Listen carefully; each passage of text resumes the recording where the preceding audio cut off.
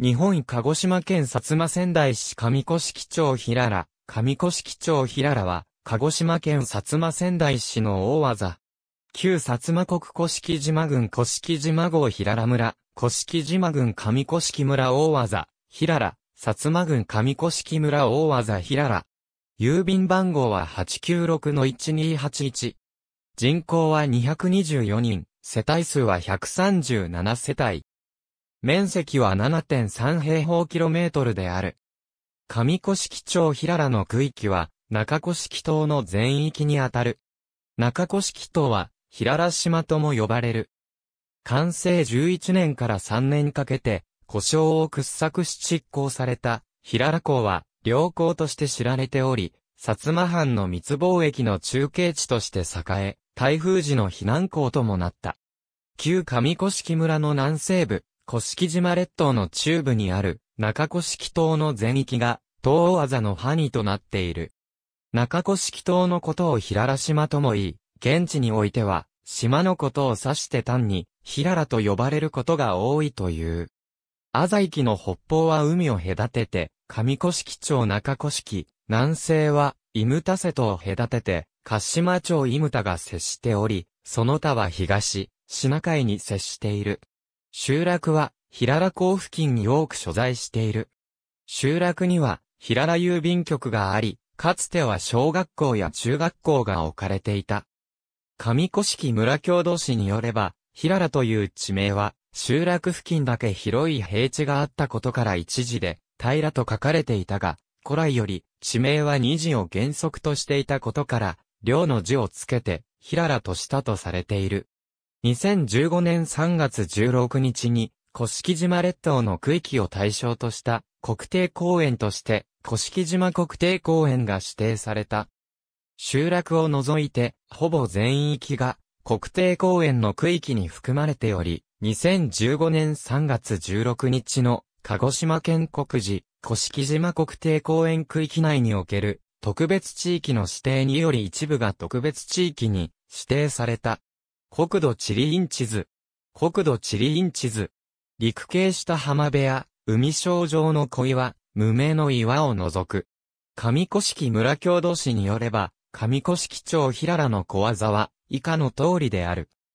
西の町、東の町、池平、太平、上川、葵、柳田、石倉、河野瀬、新道、大道、竜家迫、鍋倉、下東、黒浜、木の口、小池、小山、岩屋、駐車場三国名称図への挿絵に登場する港、石浦から望む平港平良という地名は、江戸時代より見え、薩摩国古式島郡古式島里のうちであった。平良村の村高は、三州五地西洋欄では55国余り、旧高級領取調べ町では62国余りであった。江戸時代の測量家である、井上忠敬が表した九州東海編宴会村順によれば、平良村の矢数は172であったと記録されている。元禄国絵図によれば上古式島との間は、干潮時には、串の渡りと呼ばれ、徒歩による移動が可能であり、満潮時には潮に浸かるため、船で移動したと書かれている。完成11年に、東海岸にある故障を掘削し平良港が建設され、後に密貿易の中継地として栄えた。また、台風の避難港ともなった。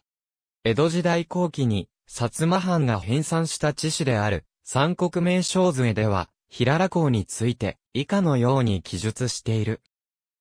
平良港上古式村の南面、平らにあり、王子はこの村を矢島と小瀬市とか、人家領釣り表業とす、このところ港なきゆえ、風等の時、土人影と瀬市に、本府市、長崎八右衛門高市金、東島に、市役す、この海辺に大池あるゆえに、その池をもって、港を開かんとし、善を官に敬して、放火を終え、完成11年春3月、岩を砕き、地を飲みて港を作る、3年にして、その高春る、高校横10歩、深さ1以上3尺、港州巡る10丁40歩、港内の深さ5畳、余り、船船の出入り自在にして、風等の間を免る、高し金が、航路衛星に及ぶ、この港人縁すこぶる、茂所なり。三国名称図へ第30回1889年に、町村制が施行されたのに伴い、上古式島及び、中古式島の全域にあたる中古式村、中野村、高石村、平良村、小島村、瀬上村、総野穂村、里村の区域より、上古式村が成立し、それまでの平良村は、上古式村の大技、平良となった。1999年4月2日及び2001年2月2日に、こういう水面埋め立て地の区域を、平良浅池平に編入した。2004年10月12日に、上古式村が、川内市、東郷町、入木町、祁答院町、日脇町、鹿島村、下古式村、里村と新設合併し、薩摩仙台市が設置された。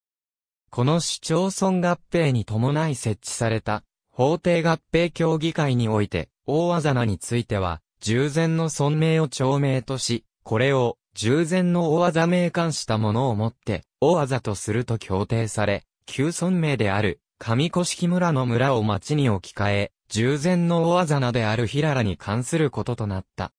合併当日の10月12日に、鹿児島県の国字である字の名称の変更が、鹿児島県広報に掲載された。この国字の規定に基づき即日名称の変更が行われ、大技名が、平良から、薩摩仙台市の大技、上古式町平良に解消された。以下の表は、国勢調査による、小地域集計が開始された1995年以降の人口の推移である。かつては、上古式村立平良中学校、薩摩仙台市立平良小学校が設置されていた。2011年4月に、薩摩仙台市立中津小学校に統合されたため、廃校となり、以降は、平良には、学校施設は設置されていない。平良には、高等学校が設置されておらず、また、古式島列島内にも全日制高校や通信制高校の学習センターは設置されていない。古式島列島内の高校受験生は、学区の制約なく県内のすべての県立高校へ進学できるため、中学校卒業生の多くは、九州本土などに転出して、当該の高校に進学する。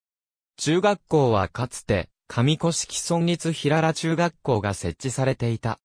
平良中学校は1947年に上古式村立上古式中学校の平良教場として設置され、1950年に分校となった。1958年に独立し、上古式村立平良中学校となった。2001年に上古式中学校に統合され並行した。小学校はかつて、薩摩仙台市立平良小学校が設置されていた。平良小学校は1876年に寺子屋風の学校で読書山を教える学校として設置されたのを起源としており、1893年に小学校令により平良尋常小学校となった。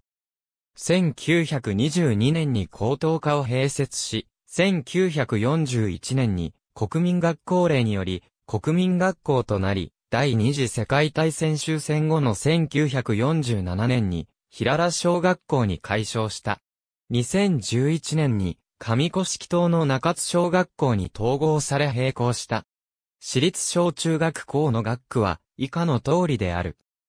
中古式島と中島を結ぶ、加野港大橋中古式島と下古式島を結ぶ、古式大橋が建設中の2017年に撮影された航空写真平良を通る道路は、下古式島の鹿島町伊牟田から上古式島の上古式町、中古式までを結ぶ鹿児島県道351号、鹿島上古式線がある。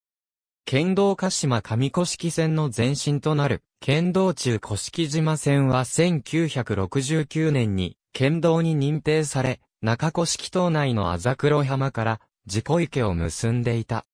県道中古式島線は1981年に、名称が黒浜推進線に、終点が大あざ中古式あざ推進に変更された。1990年3月に中島と中古式島を結ぶ加野港大橋が完成。1993年3月には中島と上古式島を結ぶ古式大民新橋が完成し、これにより中古式島から上古式島への自動車による移動が可能となった。